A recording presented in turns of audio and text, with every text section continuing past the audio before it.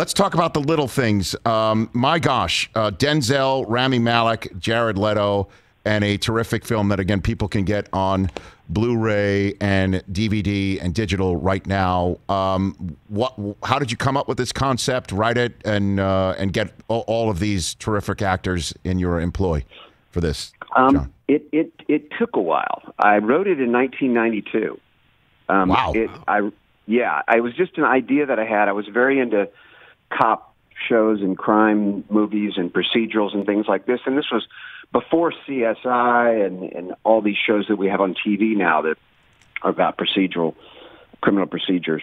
Um, but I uh, came up came up with the idea and um, wrote it right after I wrote a movie called The Perfect World that Clint Eastwood directed. This was the next one I wrote after that.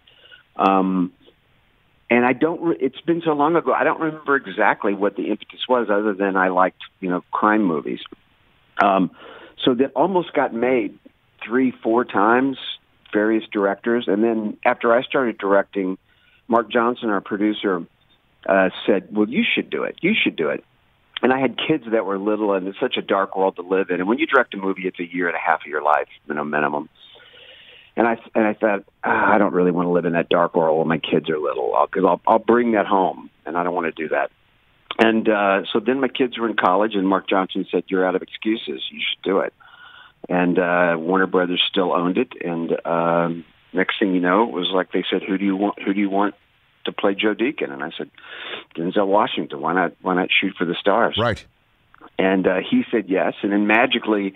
Everybody just said yes. Yeah, uh, I got all my first choices. You know, That's uh, amazing. the three the three leads, which was never happens, but uh, I'm glad it did. And again, it's available on Blu-ray um, and DVD. So again, these three: Denzel, Again, you could just refer. You know how great somebody is when you just refer to them by by one name: Denzel Washington, Rami Malek, Jared Leto.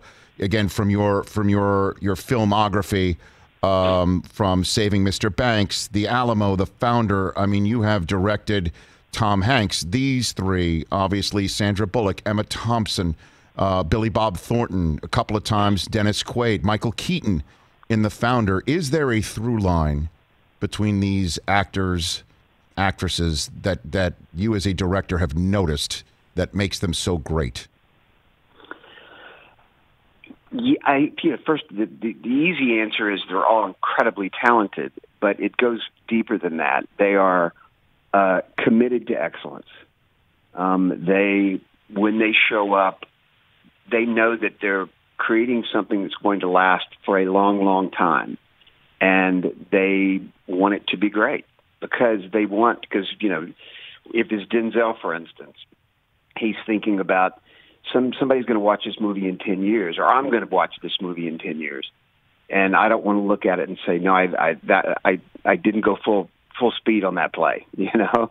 Uh, so I just I don't know. They're just they're very they're very particular um, in choosing. I think they also all these people choose their projects very carefully because they understand what they do what they do well and where they won't excel. John Lee Hancock, I appreciate the time. Congrats on the little things. I mean, it, has got to be had to have been wild for you to direct this film now when it first started in 1992. That had to be rem- remarkably um, satisfying to you to do that. It was.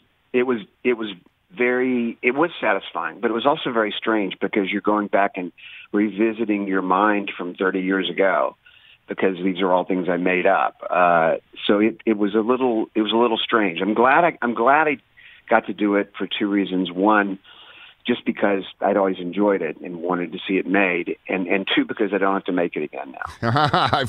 I bet. Hey, you watched all the way to the end. Thanks for that. Watch more right here.